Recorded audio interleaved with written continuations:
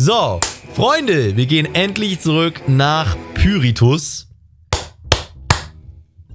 Und jetzt geht's weiter mit der Story. Um, ah, Pyri, äh, hier, Pyritus hat auch so eine geile Musik, ne? Badadam, badadadam. Bap, bap, badadadaba. So, wir sind beim o äh, OBN, ONBS, genau, und da hat uns ja der Dude wieder gerufen, wir müssen zum 50. Mal gefühlt in dieses Gebäude reinsteppen, aber okay. Ähm, ja, wenn sich Kirlia auf Level 30 zu Gardevoir entwickelt und äh, Basti auf Level 32 zu Sejong, dann haben wir schon ein bisschen Progress gemacht mit unserem Team, würde ich sagen. Aber noch sind die ersten Mitte 20, ne? So. Okay. Zack. Ich glaube, der Dude war's, der immer was von uns will.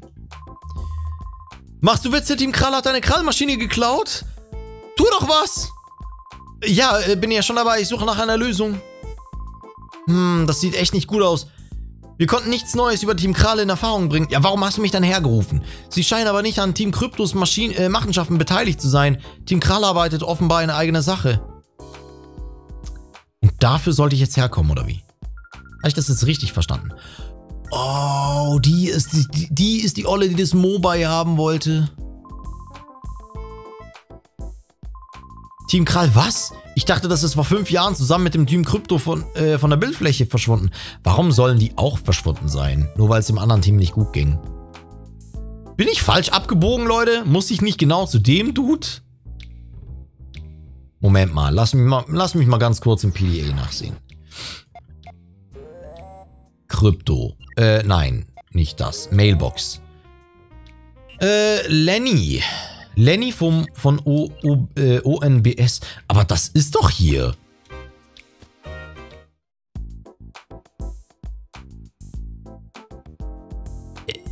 Ich, ich stehe gerade echt auf dem Schlauch.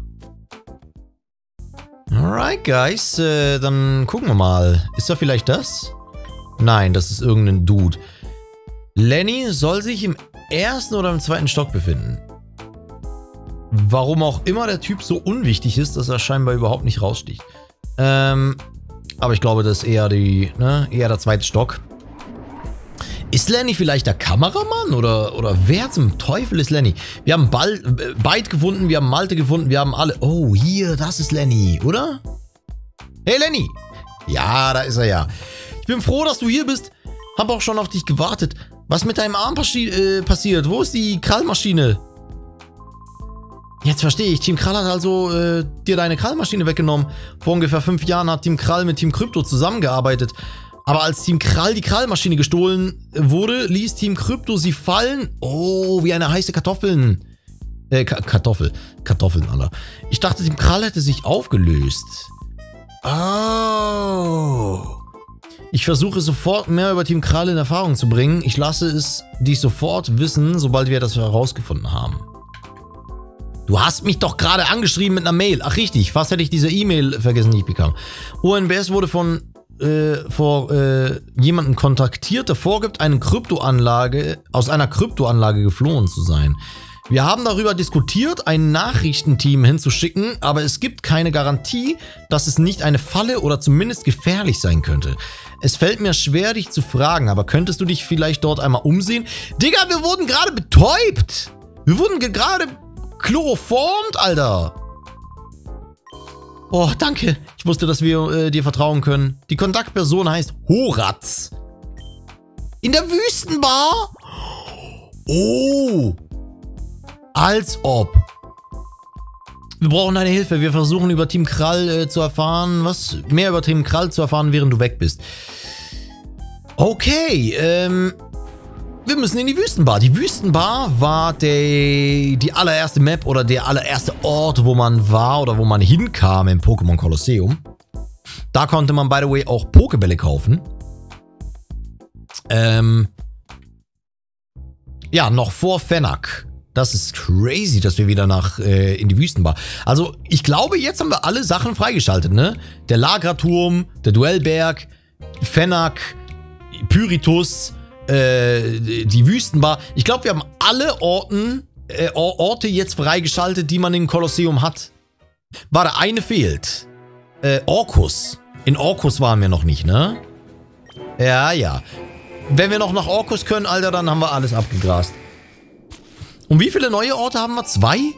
Oder so? So, Queen ist wieder irgendwo aufgetaucht. Ja, leck mich, Queen, Alter. Oh, die Musik. Yo, die beiden, oder wie? Als fucking ob. Oh, oh, ich bin voll. Das war die erste volle Mahlzeit seit langem. Hey, ja, das ist äh, ganz klasse. Wie, wie nennt man den? Pl pl Plöt? Plot? Aber das ist wirklich äh, richtig geile Art zu leben, ne? Der Lifestyle. Ich mache mir Sorgen um meine Zukunft, weißt du? Vielleicht soll ich meinen Lebensstil ändern. Äh, was redest du denn da, Hein? Hein? Das klingt gar nicht nach dem Hein, den ich kenne. Hast du den Traum vergessen? Den Traum von unserem Boss? Eines Tages werden wir alle Pokémon auf der ganzen Welt besitzen. Davon rede ich doch die ganze Zeit.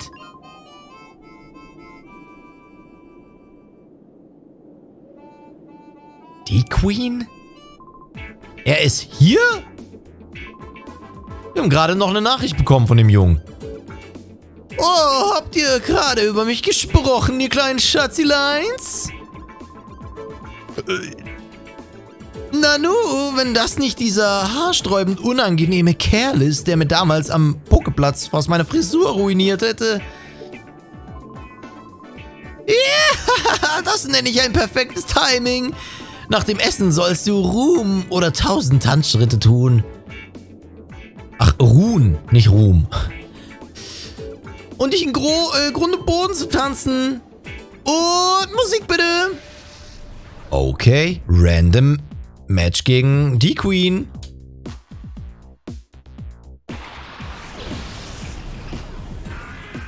Hat er jetzt die ganzen Krypto... Der hat wieder fünf Lombreros.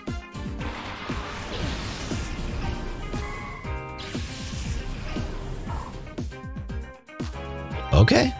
Level 26. Ja, kriegen wir hin. Kriegen wir auf jeden Fall hin. So, Konfusion und Aurora Beam. Ist zwar nur, nur neutral wegen dem guten Typen Typing von Lombrero, aber das ist okay. Ey, wir machen so wenig Damage, Mann. Wir machen so wenig Damage. Ist unglaublich.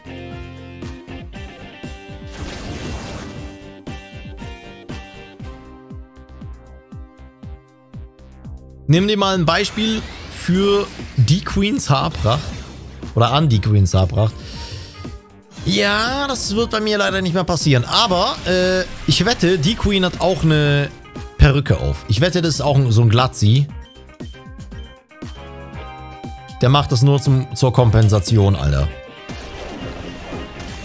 Ne, genauso wie er seine Größe mit seinen Stöckelschuhen kompensiert, kompensiert er seine Glatze mit seiner riesen Perücke. In Wirklichkeit ist es ein ganz armer Schlucker. Du.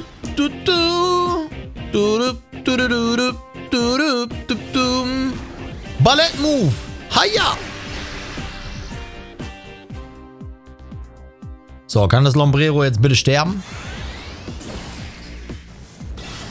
Wir brauchen mehr Damage, Freunde. Wir brauchen mehr Damage. Vor allem brauchen wir endlich mal Psystrahl oder sowas, ey. Konfusion ist so wack mittlerweile. Ich meine, sogar Basti hat einen Aurora-Strahl.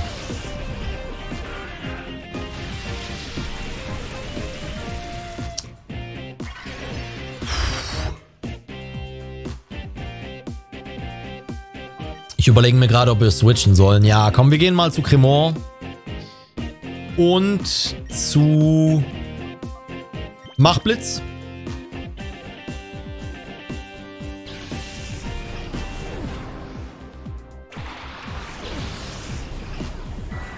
Mit seinen Dance-Moves will er seinen Kleinen kompensieren. Ja, true.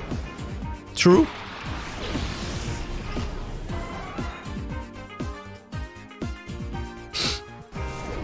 So, da kommt der Megasauger. Megasauger auf äh, Dingens wäre vierfach resisted, ne? Hätte vielleicht umgekehrt tauschen sollen, aber gut. So.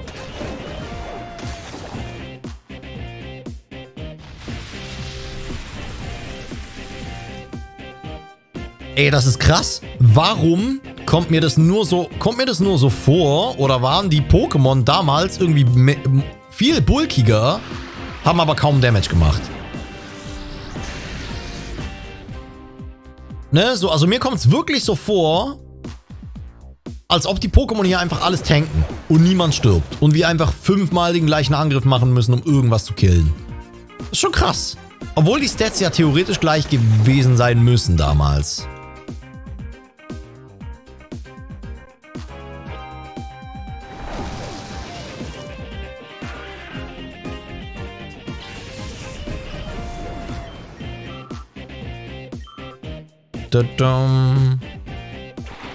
Naja, Konfusion 50 und Konfusstrahl 65.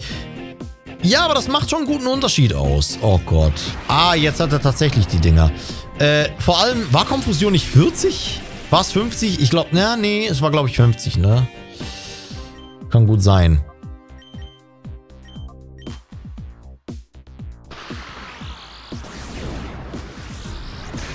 So. Aber ich meine, stell dir mal vor, wir hätten jetzt nur Donnerschock. Donnerschock hätte halt noch weniger gemacht. Insbesondere Stab, ne? Du musst dir mal vorstellen, Donnerschock kommt mit Stab auf 60 Stärke. Ähm, Schockwelle kommt mit Stab auf 90 Stärke. Und ob 60 oder 90, ne, der Unterschied ist dann halt noch krasser mit dem Stab. Konfusion hat 75 mit, mit Stab Psystrahl hat 93 mit Stab, also fast 100. Ist halt schon nicht zu verachten.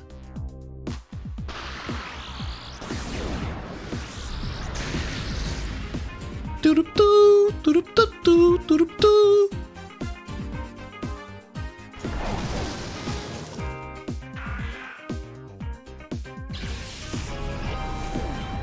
Die Musik ist halt schon groovy, ne? So, jetzt kommt Kapaloris. Der Kapaloris. Ah, da.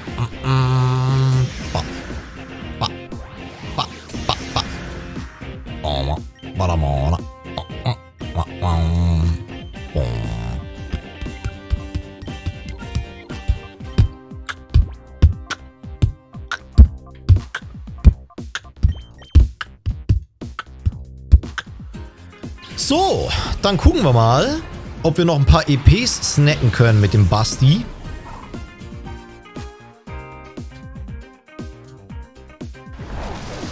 Or now. Alter, der Two-Shottet Kapaloris, ne? Das ist schon strong. Bada, bada, bada.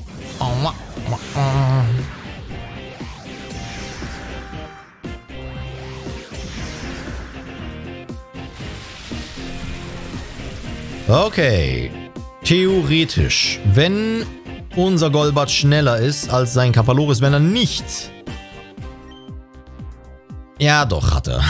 und jetzt geht er auf Megasauger und killt Basti weg, ne? Und dann reicht nämlich der Flügel... Oh!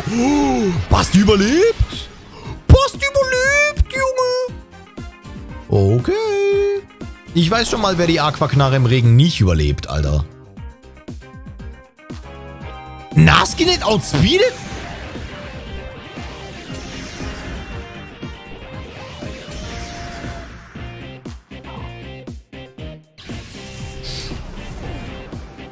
Okay.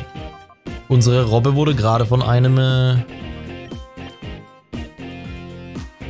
Stein outspeedet.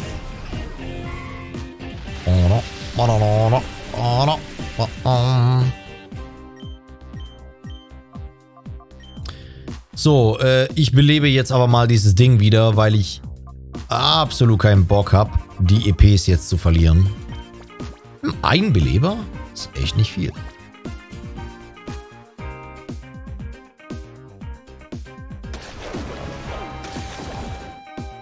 Oh mein Gott, Digga. Nicht dein Ernst. Oh, fuck my life, ey. Fummele. Gut. Dann machen wir das eben so. Jackson. Kommst du rein. Wetten, äh, Kirlia verreckt jetzt. Wetten. Ja, fast.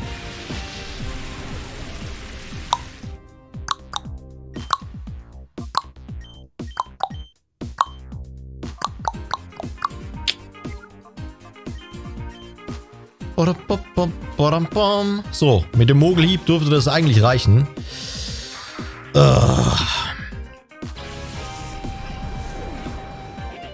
Das ist ja richtig räudig, ey. Oh no, das entwickelt sich nie mehr. Oh fuck, Alter. True.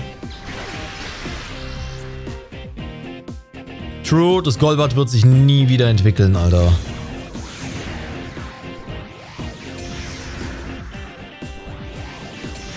Goddammit.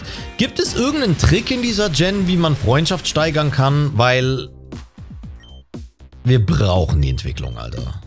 Wir brauchen sie.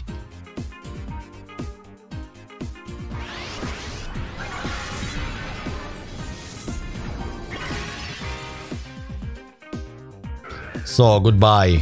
Nasgenäht. Mit Massage. Ich weiß nicht, ob man eine Massage kriegt in diesem Spiel.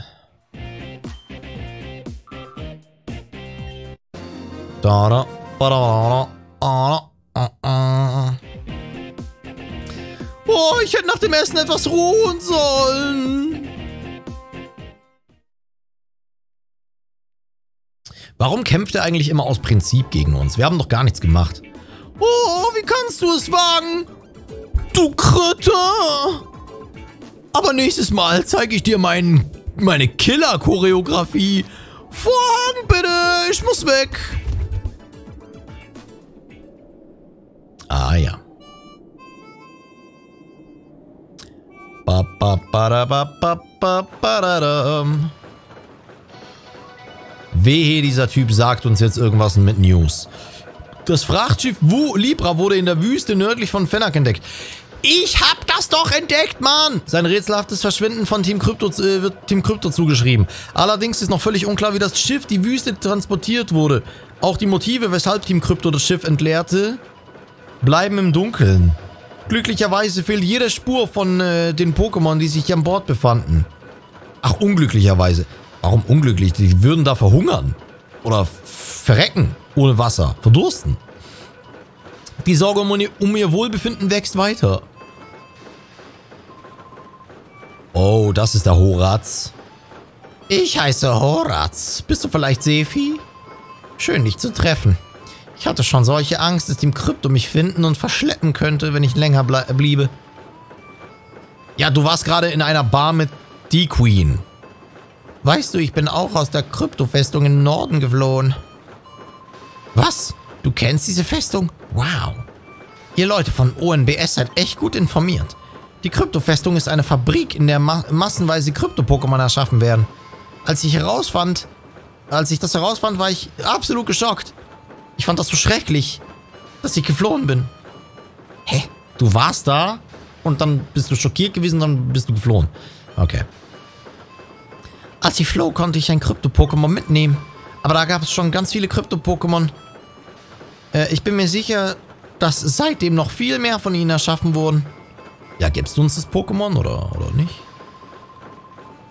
Als ich noch bei Team Krypto war, redeten alle von einem Jungen, der Krypto-Pokémon krallt und sie rettet. Bist du das vielleicht? Falls ja, dann habe ich eine große Bitte. Würdest du bei dem Krypto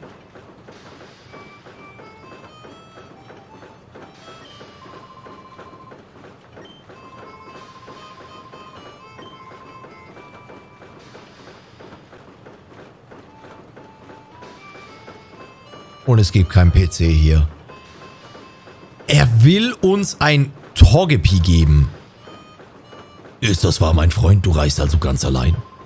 Wenn du weit reisen, weiterreisen möchtest, solltest du Vorräte aufstocken. Er will uns ein Togepi geben. Ich meine, in dieser Gen gab es noch kein Togekiss. Von daher, meh. Ne, Togetic ist halt echt nicht so cool. Aber, äh, GG. So, wir holen uns noch ein paar Hypertränke, ein paar Supertränke. Den einen oder anderen Beleber. Oder Pokesnacks. Wobei, die sind mittlerweile ganz günstig, ne? Holen wir noch ein paar. Okay. Lenny von ONBS. Wir haben das Team Krallversteck ausfindig gemacht. Es ist ihr alter Unterschlupf nördlich der Wüstenbar. Über die Zahl der Mitglieder und über ihren Anführer Darkral wissen wir leider nicht. Sei vorsichtig. Ah ja. Übrigens, suchst du nicht das Team Krallversteck? Ah. Ich kam daran vorbei, als ich aus der Kryptofestung floh. War ein ziemlich unheimlicher Ort. Den Ort gucken wir uns auf jeden Fall noch an. Hey, warte doch mal! Oh. Hey, ich heiße Willi. Ich weiß jetzt wieder, wer du bist. Du bist der Junge, der Team Krypto aus Fennec verjagt hat, oder nicht? Ich sah dich im Fernsehen. Wo ist denn Michael, Digga? Oh, lass uns mal kämpfen. Oh, Bruder. Hier lang? Wa hä? Okay. Ja, yeah, der Motor läuft heiß, die Maschine rührt, jetzt gebe ich Vollgas. Brumm, brumm. Okay. Ist da geistig irgendwo in der Wüste falsch abgebogen, Alter. Ja, wie hoch sind die gelevelt? Level 3?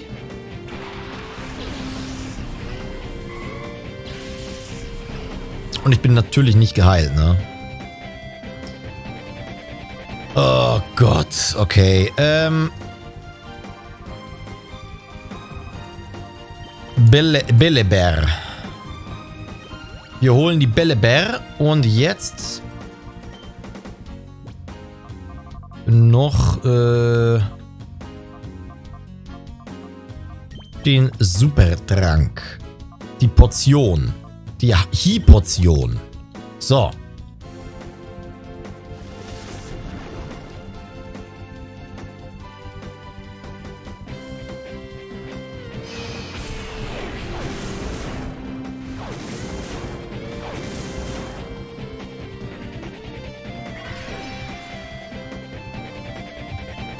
Alright. Gehen wir auf Confusion und auf Aurora Beam. Ey, also in diesem, in diesem Spiel muss man echt gegen viele Leute kämpfen, ne? Warum will der jetzt gegen uns kämpfen? Das ist komplett random wieder. So, Nadelrakete. Ist natürlich sehr effektiv. Warum outspeeden uns Zickzacks, Alter? Brauchen die Entwicklung. Und ich habe nicht das Gefühl, dass wir krassen Progress machen. Wenn es darum geht, äh, hier Entwicklungen abzustauben und so, ne? Ich meine, okay, Basti war heute irgendwie auf 3,24, aber 27 ist jetzt halt echt nicht die Welt, ne? Aber gut. Wie viele Sonderbonbons haben wir schon? Oh, Giradax. Damn.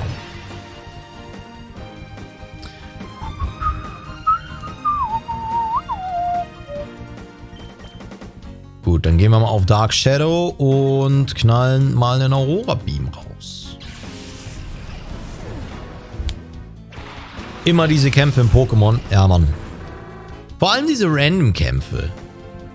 Bin ja nicht gegen Kämpfe, aber wenn die so random sind, Alter, bitte nicht auf Basti. Danke. So, Aurora Beam.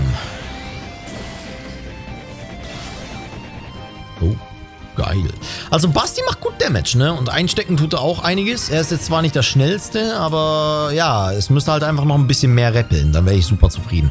Fire Blast und dann knallen wir da dem Jungen noch einen Supertrank rein. Zack.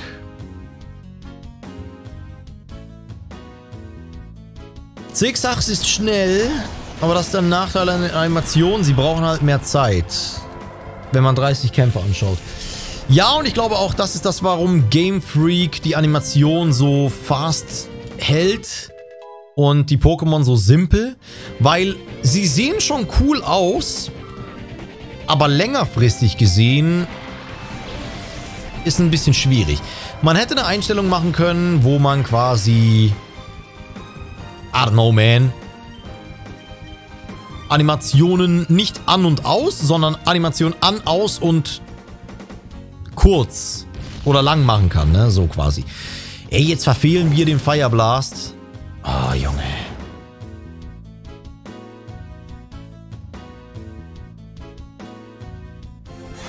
Naja. Kinomodus oder so in der Art. Ja, genau.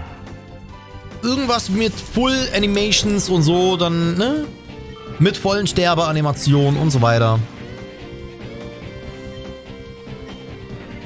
Aber gut. Äh, Finte kann, glaube ich, nicht verfehlen, oder? Kann... Schauen wir mal. Trifft Finte unter... Nein. Okay. Schade.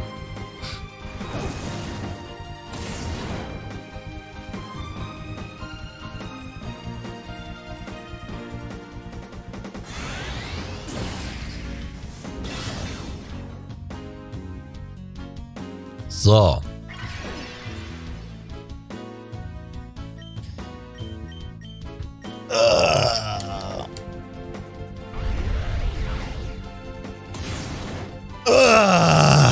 God damn it.